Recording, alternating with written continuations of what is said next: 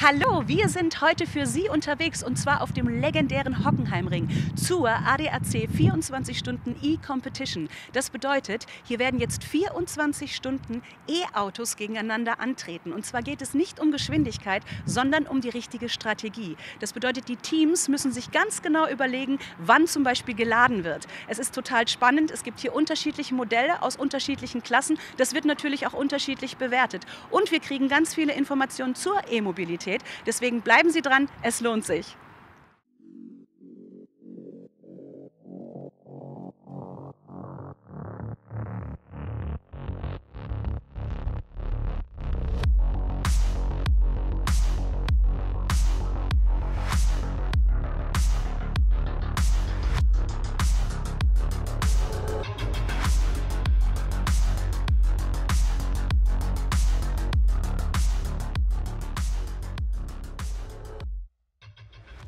Ich bin wieder in einer anderen Boxengasse und auch hier gibt es was zu entdecken. Da sind zwei nette Herren, die warten schon auf mich und ich bin ganz gespannt, was sie mir erzählen. Hallo und herzlich willkommen. Hallo, schönen guten Tag. Willkommen zum 24-Stunden-E-Competition auf dem Hockenheimring. Genau, und hier gibt es was ganz Besonderes zu entdecken, habe ich gehört. Wir wissen ganz genau, dass es nicht nur darauf ankommt, dass man tolle E-Autos hat, sondern man muss die ja vielleicht eventuell auch reparieren. Was gibt es da dazu zu entdecken?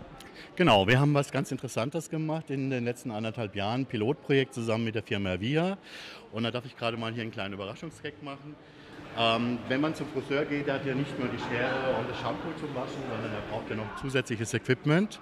Und wir haben hier praktisch mit einem Händler zusammen, der auch Elektroautomobile unserer Marken vertreibt, einen Werkzeugkoffer entwickelt, wo wirklich nur das Werkzeug, was auch wichtig ist für den täglichen Bedarf und im Umgang mit Hochvolttechnik an E-Fahrzeugen, Plug-in-Hybriden und vollelektrischen zusammengebaut. Ja, und der Kollege, mit dem ich das gemacht habe, ist der Christian Kasper von der Firma Viha. Und dann übergebe ich mal an dich, äh, Christian. Das ist das Produkt, was wir entwickelt haben. Jetzt bin ich mal ganz gespannt. Das Produkt sehen Sie gleich noch besser. Liebe Zuschauer, ich stehe da jetzt gerade so wunderbar davor. Aber jetzt gehe ich erstmal rüber zu dem Herrn hier. Hallo, herzlich willkommen.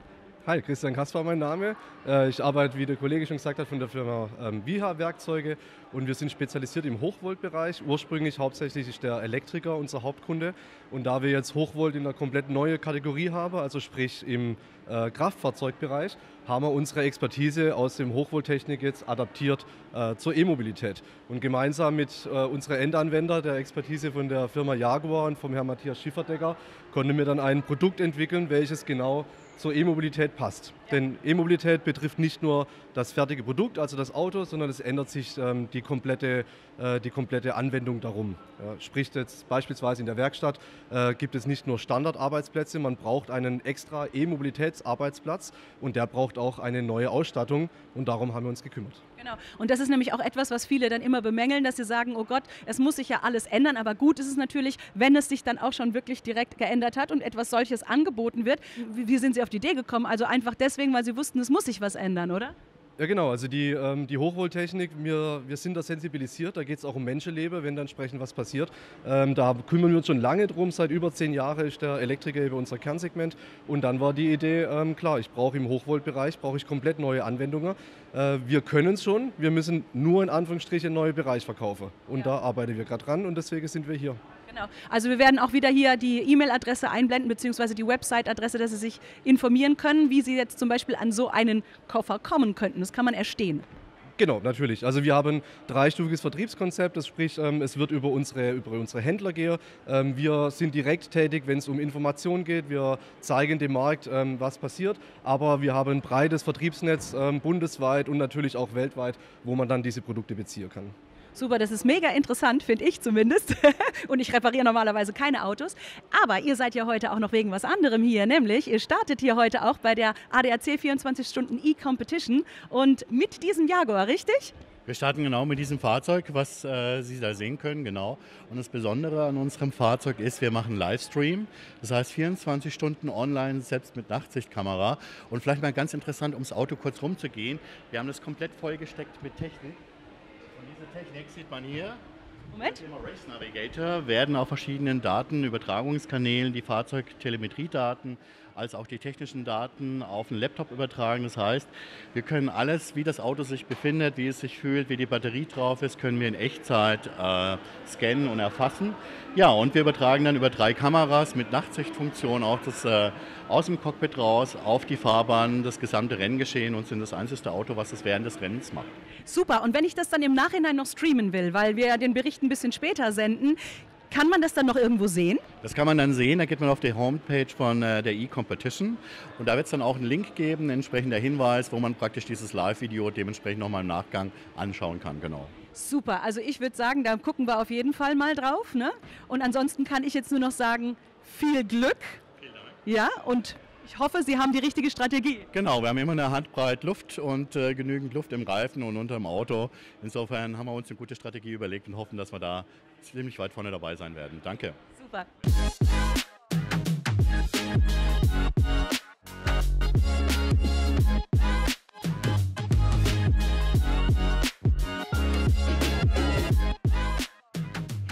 So, hier gibt es heute nicht nur vierrädrige Fahrzeuge, die quasi E-mäßig unterwegs sind, sondern auch Dreiräder. Und hier an meiner Seite ist der Franz und der erzählt uns jetzt mal, was es mit diesen Dreirädern daneben dran auf sich hat. Ja, wir sind ein kleiner Schweizer Hersteller von elektrifizierten Dreirädern, also in der L2E-Klasse. Klassischer Beitrag zum Thema Smart Urban Mobility. Die gibt es in zwei Versionen, also quasi eine Private-Version. Die hat auch eine sogenannte Neigetechnik. Das heißt, der Trick ist, dass ich sozusagen während der Fahrt das Fahrzeug bewegen kann wie der Valentino Rossi. Ah, Also ich kann es quasi umlegen und mich in die Kurve legen. Ja. Und die andere Version ist sozusagen die professionelle. Die gibt es auch mit verschiedenen Aufbauten. Die ist natürlich starr, ja, weil da kann ich bis zu 200 Kilo damit transportieren. Von dieser Art von Fahrzeugen fahren zum Beispiel in der Schweiz schon seit sechs Jahren 6.500 Stück herum. Jeden Tag, nämlich die Schweizer Post transportiert damit täglich ihre Briefpost. Also ich würde sagen, das ist mal eine richtig gute Idee, das für die Post zu verwenden oder überhaupt auch zum Beispiel ein Päckchen auszutragen oder irgendwelche anderen Sachen, zum Beispiel im städtischen Bereich. Ne? Kann ich mir vorstellen, wird das eingesetzt? Ja, das also ist äh, nicht nur städtisch, aber vor allem städtisch oder im Umfeld von Städten. Und man muss jetzt sagen, drei Räder ist natürlich sehr viel sicherer als zwei Räder. Ja, also es gibt ja auch sehr viele Verletzungen von den Postlern, die mit Fahrrädern, E-Bikes oder einspurigen fahren. Natürlich viel Gewicht mit und Kopfsteinpflaster nass in der Stadt und so weiter. Und äh, der weitere Vorteil ist sie sind ein bisschen massiver. Das heißt, auch beim Beschleunigen und ähnliches kann ich mit den PKWs mithalten, weil dank Elektroantrieb haben die ja richtig Kraft ja, und richtig Energie. Zwar bei 45 äh, beschränkt von der Endgeschwindigkeit her, aber das reicht ja innerstädtisch. Ja. Ich habe mich nämlich vorhin schon gefragt, ich hatte gedacht, ihr fahrt auch mit heute auf der 24-Stunden-E-Competition mit einem von den drei Rädern, aber das macht er jetzt nicht bei dem Wind, oder? Ja, also das ginge schon. Das Thema ist natürlich, die Fahrzeuge haben ja auch einen deutlich kleineren Akku, weil die Reichweite, die die Post braucht, zum Beispiel die Post braucht, liegt so bei 60, 70 Kilometer maximal am Tag. Ne? Und das ist ja ein weiterer Vorteil der Fahrzeuge, dass ja dieser sogenannte CO2-Rucksack auch weitaus geringer ist. Ich brauche ja keinen riesen Akku, wenn die eh nur 60, 70 Kilometer fahren. Das heißt, es würde bei einer 24-Stunden-Competition bedeuten, dass wir mehr laden als fahren. das stimmt auch wieder. Aber das ist auf jeden Fall ein ganz, ganz tolles Gefährt. Und Sie sagen, in der Schweiz fahren schon ganz viele davon rum. Wie sieht es jetzt in Deutschland aus momentan? Äh, Tendenz steigend. Ja? Also man muss auch sagen, ähm, dadurch, dass ja jetzt auch über die Städte viele Vorgaben kommen. Ne? Dieses Modell ist zum Beispiel jetzt eines, das auch kommunal genutzt werden kann. Da kann Müllkübel rein, da kann ich hinten die Besen draufstecken. Das kann ich mit einem akkubetriebenen Hundekot-Staubsauger ergänzen, wo der also quasi drauf sitzen bleiben kann und fährt und hat den Saugschlauch und kann das quasi von der Wiese aufsaugen. Es geht halt immer mehr auch um Effizienz. Also nicht nur, dass es umweltfreundlich, ökologisch ist, es geht um Effizienz auch am Arbeitsplatz. Und dafür sind diese Fahrzeuge klein, wendig. Ja. Die Post zum Beispiel, die muss, der muss nicht mal absteigen am Land draußen. Ne, weil der fährt, bleibt am Fahrzeug sitzen, hat vorne den Postkorb und tut es direkt in den Postkasten. Ja. Ja. Das spart teilweise pro Haus um die 40 Sekunden. Ja. Und das summiert sich auf einen ganzen Tag, das hat die Post mal ausgerechnet, im Schnitt auf 32 bis 35 Arbeitszeitminuten. Das mal 6500 jeden Tag ist eine Menge Holz. Also ich würde sagen, da sollten sich einige mal eine Scheibe abschneiden. Das bringt wirklich etwas. Nicht nur für die Umwelt, sondern auch für die Zeit, für die Arbeitszeit. Ihr seid aber heute auch hier unterwegs. Ne? Ihr wollt auch gleich starten. Mit was startet ihr heute? Das ist ein Ford Mach-E äh, von einem Freund und Kollegen. Und für mich ist es insofern eine Premiere. Also ich bin in meinem Leben schon 14 Mal am Nürburgring 24 Stunden Rennen gefahren. Natürlich vom Saulus zum Paulus könnte man sagen, früher mit viel PS und Benzin. Ja. Und für mich ist das jetzt quasi auch eine Premiere mal 24 Stunden elektrisch. So. Also ich wünsche ganz, ganz viel Glück. Und übrigens über diese Bikes können Sie natürlich wieder Informationen bekommen. Die Website haben Sie, äh, Adresse haben Sie gesehen. Und äh, ich würde sagen, ich bin gespannt, wie es damit weitergeht und ich bin gespannt, wie Sie heute abschließen. Alles Gute. Dankeschön. Ciao.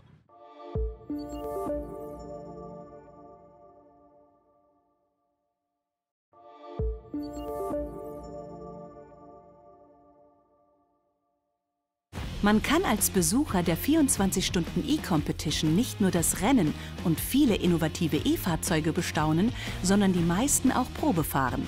Mal sehen, ob wir jemanden bei der Testfahrt begleiten dürfen. Hallo, darf ich euch mal kurz unterbrechen? Also ich nehme mal an, hier ist irgendjemand dabei, der was testen möchte, oder? Ja, ganz genau. Ich, äh, ich interessiere mich für den VW ID3 hier, ähm, unter anderem deshalb, weil wir den auch äh, beruflich anschaffen möchten. Also wir haben äh, beruflich im Unternehmen bei uns einen voll elektrischen Fuhrpark und der ID3, der soll dieses Jahr noch mit dazukommen. Deshalb will ich ihn einfach mal direkt hier auf dem Hockenheimring testen. Dürfen wir dich da jetzt begleiten beim Testen? Äh, ja, natürlich gerne. Okay, da sind wir jetzt mal gespannt. Und hier haben wir jemanden, der dann bei der Testfahrt mit dabei ist. Genau, richtig. Genau. Wir fahren jetzt mal den ID3 Probe, schauen mal, wie die Fahrerlebnisse sind. Und wie gesagt, die Bedingungen sind ja bis jetzt gut und dann testen wir einfach mal. Dann würde ich sagen, wir reden gar nicht lange weiter, sondern wir legen direkt los.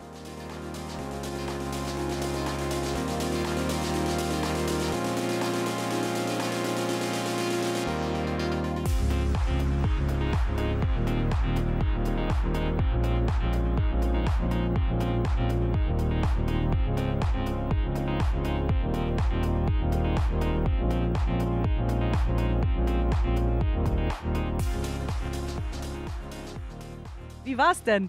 Ja, hallo, also ich bin total begeistert und äh, ich habe wieder gemerkt, ähm, ja, der ID3 ist das richtige Auto für uns.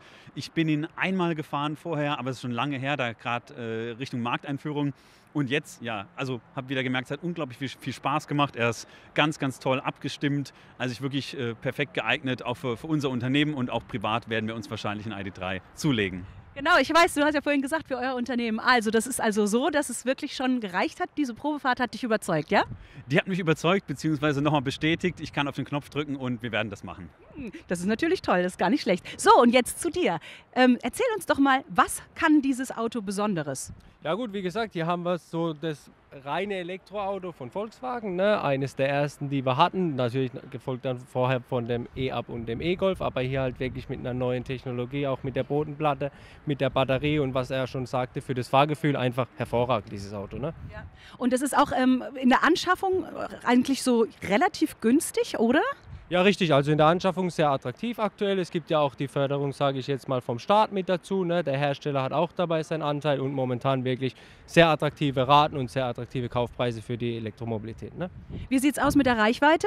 Die Reichweite ist je nachdem auch immer wetterabhängig, ne? aber wir rechnen teilweise momentan mit 350 bis 450 Kilometer, die auch wirklich reell sind. Ne? Je nach Batteriegröße auch, ist auch natürlich davon abhängig, aber das sollte hinhauen. Okay. Und ihr seid heute aber auch da und geht mit dem an den Start, ne? bei der 24-Stunden-E-Competition? Heute leider nicht, nein. Heute okay, aber egal, dafür dürften wir ihn jetzt Probe fahren. Das ist wirklich perfekt und vielen herzlichen Dank.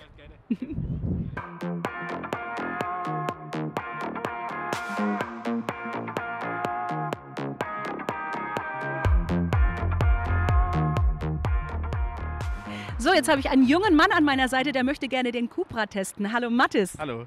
Warum ausgerechnet den Cupra? Den Cupra bin ich bisher tatsächlich noch nie gefahren und der ist mir vom Design her gleich aufgefallen von der Größe passt er auch ganz gut zu mir, deswegen dachte ich, den probieren wir einfach mal aus. Ja, ich finde auch, dass er zu so einem jungen Mann wie dir absolut perfekt passt, so sportlich, wie der jetzt da steht. Also ich bin gespannt, was du gleich erzählst. Hast du Erfahrung mit E-Autos? Bist du schon öfters mal mit einem E-Auto gefahren? Also ich bin tatsächlich gerade eben das erste Mal ähm, heute Morgen gefahren mit dem E-Auto, dann direkt auf der Rennstrecke.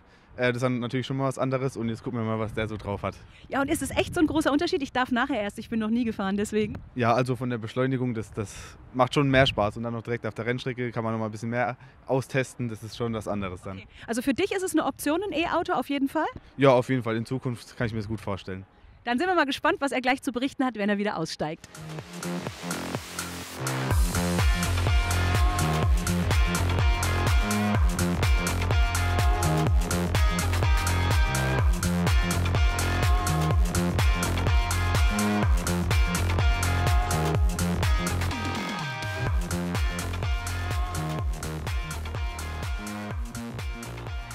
Der Mathis ist wieder angekommen mit dem Cupra und ich frage ihn jetzt, wie es war.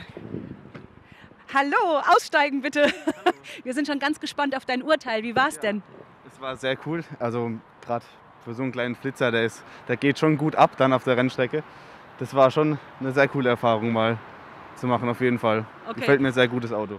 Also es wäre jetzt wirklich ein Favorit für dich? Du würdest es gerne haben wollen, wenn du könntest? Ja, ich glaube, das passt von der Größe und so ganz gut zu so einem jungen Mann. Ähm, geht, auch, geht auch gut voran. Ich glaube, das ist auf jeden Fall eine Option. Okay, super. Dann frage ich jetzt mal den Experten, was es über den Cupra alles zu wissen gibt. So, gehen wir mal zu ihm hin.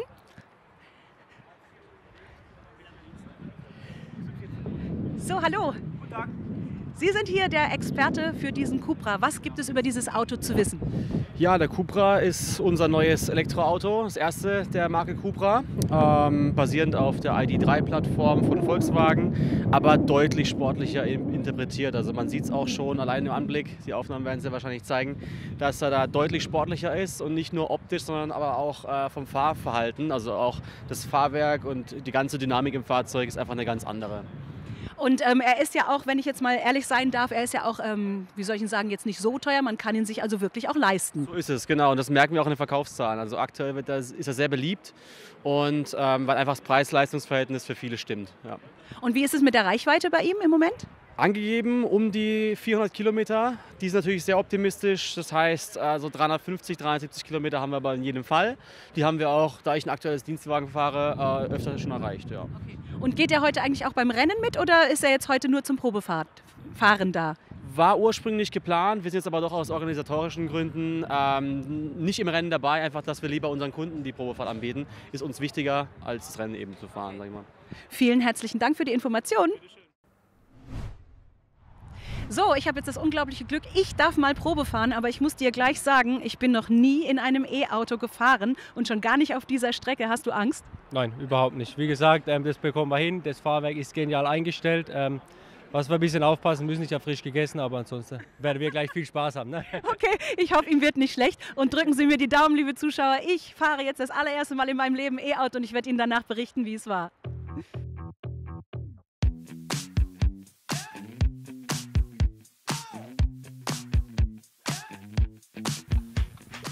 Dann, das ist wirklich total verrückt, das erste Mal überhaupt mit einem E-Auto loszufahren. Hier ist es auch total verrückt, hier das mit den, ich weiß nicht, ob man das sieht jetzt, äh, diese Spiegel in Anführungszeichen, das Bild wird dahin projiziert. Das ist äh, sehr gewöhnungsbedürftig, aber hat jetzt gut geklappt. Und jetzt bin ich einfach mal gespannt. Ich fahre hinter dem Jaguar da vorne her. Ich gebe mal ein bisschen Gas. Also das Gefühl ist wirklich ein ganz anderes. Ich fahre mal an denen vorbei hier. Juhu. Ich weiß nicht, wer da gerade fährt. Ah, der Franz, den haben wir vorhin interviewt. Was hier auch total interessant ist jetzt, ähm, das ist, dass man da vorne in, quasi in der Frontscheibe sieht man, wie schnell man fährt. Das ist schon auch verrückt. Das ist so eine Rückspiegelung. Dieses Auto fährt sich wie Butter. Es ist so schön. Ich fahre Audi sowieso sehr, sehr gerne. Aber dieser e-tron ist sehr spannend. Ui, das ist aber eine ganz schöne Kurve. Festhalten. So, jetzt beschleunige ich mal ganz arg. Das geht wirklich schneller als mit einem normalen Auto. Und man hört nur das Rauschen des Windes. Faszinierend. Ich hoffe nicht, dass der hinter mir mich jetzt überholen will, weil ich hier so ein bisschen seltsam die Kurven nehme. Aber man muss das alles mal erstmal ausprobieren. Tolles Erlebnis, kann ich echt nur jedem raten, das mal zu machen.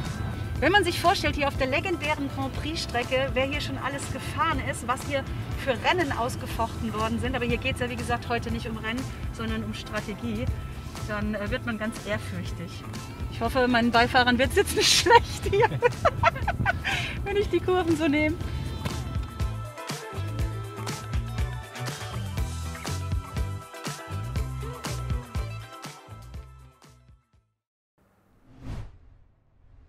So, das war jetzt wirklich ein mega Erlebnis. Also ich habe vielen, vielen herzlichen Dank. Gerne, gerne. Ein Traum hat sich für mich erfüllt. Also vor allen Dingen, ich fahre Audi wirklich sehr gerne, aber jetzt noch den e-tron heißt er, ne? Wahrscheinlich. Genau. Also das war wirklich ganz, ganz toll. In den Kurven liegt der perfekt auf der Straße. Die Beschleunigung ist der Hammer. Ich habe manchmal gar nicht gemerkt, wie schnell ich plötzlich gewesen bin. Gott sei Dank sind meine Kollegen so tough und müssen sich jetzt nicht übergeben wegen der Kurven. Nee, es war ganz, ganz toll. Vielen herzlichen Dank. Was gibt es denn über dieses Auto noch Besonderes zu sagen? Ja gut, wir, wie wir jetzt sehen, haben wir hier die virtuellen Außenspiegel. Das ist auch so eine ziemliche Neuheit bei dem Fahrzeug, beziehungsweise gab es schon von Anfang an, aber gibt es so bei relativ wenigen Fahrzeugen auf dem Markt. Wir haben hier auch die Coupé-Form bei dem e-tron Sportback und gibt es aber auch noch in der normalen Version. Und wie gesagt, das ist echt ein klasse Auto, kann ich jedem empfehlen, sich da mal ein Bild von zu machen und einfach mal zu testen. Also ich würde auch sagen, es lohnt sich wirklich. Machen Sie mal eine Probefahrt. Das ist wirklich ein Auto, das ich jedem empfehlen kann. Dann hat es natürlich auch noch eben durch diesen ganzen Sportcharakter, den es hat, diese Sportlichkeit mit drin. Aber es ist auch so ein bisschen für SUV-Liebhaber trotzdem auch wirklich geeignet. Also doch, ich bin begeistert. Vielen herzlichen Dank. Sehr gerne. Tschüss.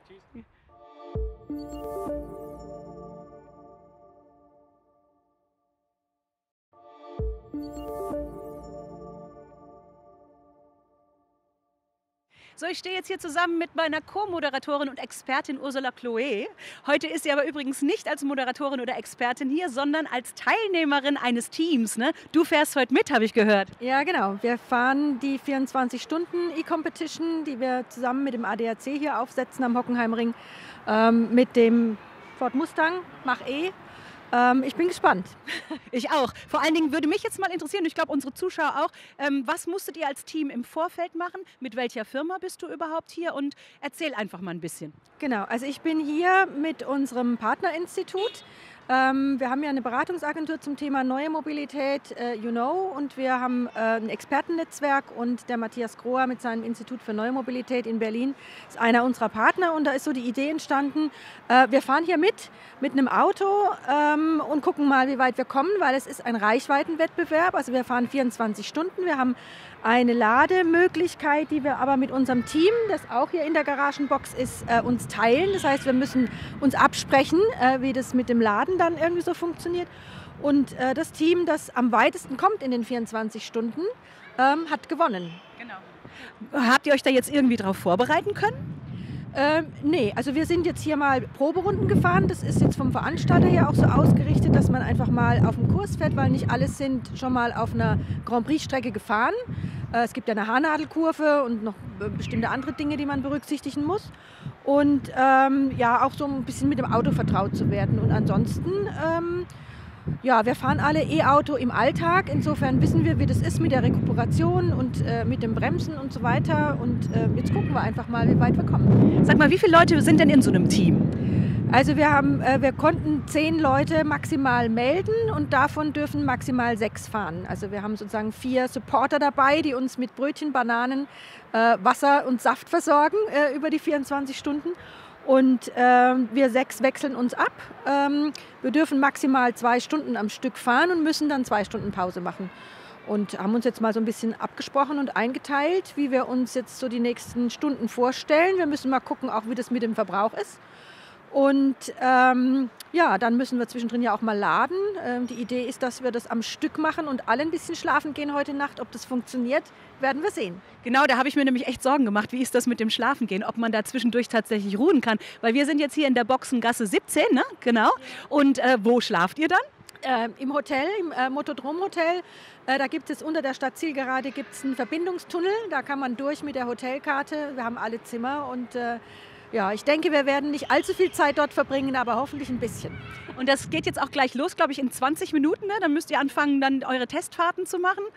Also in 20 Minuten geht's los. Äh, ist verpflichtend, dass wir noch mal äh, eine bestimmte Anzahl an Runden fahren.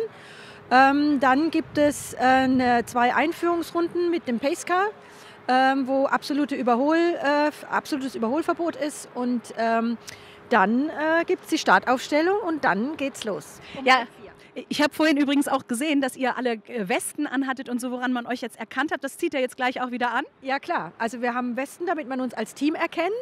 Äh, wir haben Schals, wir haben Kaffeetassen mit dem Namen drauf und äh, mit der Veranstaltung. Also wir haben uns so ein bisschen vorbereitet, wie die anderen Teams hier auch. Genau. Das ist echt total toll. Sag mal, das, die wievielte äh, 24-Stunden-E-Competition ist das denn? Das ist die allererste, das ist unsere Premiere. Wir haben im Rahmen vom E4 Festival 2019 eine 12, einen 12-Stunden-Nachtlauf gehabt, weil wir ja tagsüber für die Besucherinnen und Besucher die Strecke gebraucht haben für die Probefahrten und haben dann von abends acht bis morgens acht mal so einen Zwölf-Stunden-Lauf gemacht, um auch für uns mal auszuprobieren, ist das äh, eine schöne Veranstaltung, ähm, macht es Spaß, ähm, finden wir Leute, die da Lust haben mitzumachen. Klares Ja. Und ja, dann waren wir ein bisschen ausgebremst mit Corona, aber ähm, jetzt, das ist jetzt die Premiere und die Idee ist, das äh, sowohl am Hockenheimring mehrmals zu machen, als auch auf anderen Rennstrecken. Ähm, mal gucken. Also jetzt warten wir mal dieses Wochenende ab und dann äh, werden wir entscheiden, wie es weitergeht. Wow, also ich finde es eine ganz, ganz tolle Veranstaltung und Hut ab. Jetzt ist es natürlich auch noch so, jetzt haben wir heute Nacht extrem Wind gemeldet nochmal. Ich drücke euch megamäßig die Daumen, dass trotzdem alles gut geht und vor allen Dingen eurem Team. Ich bin für euer Team. Danke. Und ich würde sagen, äh, wir gucken uns jetzt das Auto noch mal ein bisschen an und ihr könnt euch jetzt mental und seelisch darauf vorbereiten, was die nächsten 24 Stunden auf euch zugeht. Machen wir. Dankeschön. Danke auch. Langsam wird es spannend. Testfahrten sind jetzt nicht mehr möglich. Die teilnehmenden E-Autos kommen nacheinander aus den Boxengassen und die Teams bereiten sich auf die Warm-up-Runden vor. Bevor es an den Start geht, werden pro Teilnehmer je zwei Einführungsrunden hinter dem Pacecar gefahren, um sich mit der Rennstrecke vertraut zu machen.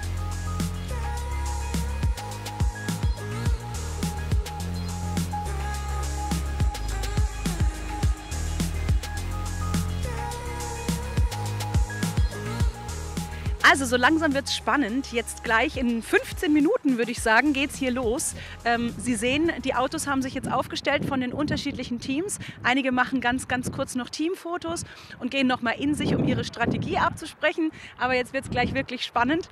Und wir sind auch schon ganz gespannt auf den Start. Wir haben ja vorhin schon so ein paar Autos sich einfahren sehen. Aber das ist natürlich jetzt nochmal was ganz Besonderes, wenn die hier aufgereiht stehen an ihren Startpositionen. Und ähm, ja, wir wünschen auf jeden Fall viel Spaß beim Anschauen.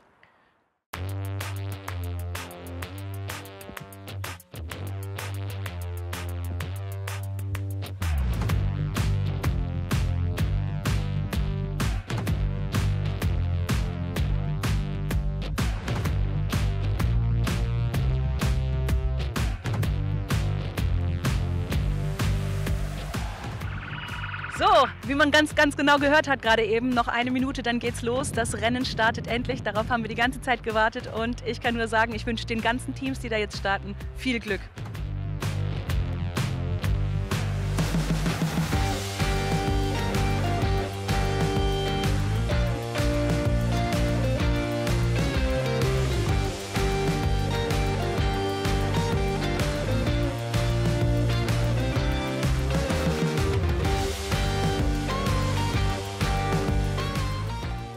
Siegerteams der Gesamtwertung lauten wie folgt. Platz 1 ging an das Team Tesla Roadster Classic der Noise GmbH im Tesla Roadster Sport. Platz 2 ging an das Team WHB Charging der WHB Metalldesign und Charging GmbH im Hyundai Kona Elektro. Platz 3 ging an das Team Energy Control der Heidelberger Druckmaschinen AG im Kia e-Niro. Um alle Platzierungen der unterschiedlichen Klassen zu sehen, gehen Sie auf 24stunden-ecompetition.com. Müde aber glücklich durfte am Ende des Rennens das traditionelle Sektspritzen auf dem Siegertreppchen und das gemeinsame Anstoßen natürlich nicht fehlen. Das war sie, die 24-Stunden-E-Competition, gesponsert vom ADAC. Und es war keine Sekunde langweilig. Man konnte Autos testen, man hat Informationen bekommen rund um die E-Mobilität. Und ich kann wirklich nur jedem sagen, kommen Sie mal vorbei. Das lohnt sich wirklich. Vielleicht sind Sie ja das nächste Mal auch als Team dabei. Sie wissen ja, man kann sich auch als Team anmelden von irgendeiner Firma, wie auch immer Sie möchten. Und ich kann Ihnen nur sagen, das war die kleine Schwester der großen Veranstaltung. Denn die große Veranstaltung, das E4 Festival, findet statt vom 28. bis zum 30.10 diesen Jahres. Da müssen Sie unbedingt kommen. Das ist alles nochmal eine Nummer größer. Dazu gibt es übrigens demnächst auch wieder Karten zu gewinnen. Deswegen bleiben Sie dran. Und ansonsten gehen Sie doch mal auf e4festival.com. Da kriegen Sie noch mehr Informationen zu allem rund um den Hockenheimring und dieser grandiosen Grand Prix-Strecke.